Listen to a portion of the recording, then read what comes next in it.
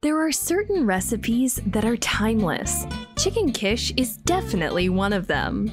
Filled with cheese, eggs, and our choice of vegetables, it's guaranteed to impress anyone. Start out with chopping onions, then slice champignon mushrooms. Heat the pan on medium heat, add onion slices, add champignons, and fry until golden brown. Add slices of boiled chicken cooked in advance and stir with the rest. Meanwhile, place the ready dough in a baking dish.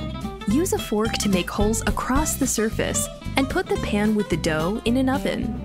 It's time to proceed with the fill. Chop parsley and green onions, grate hard cheese.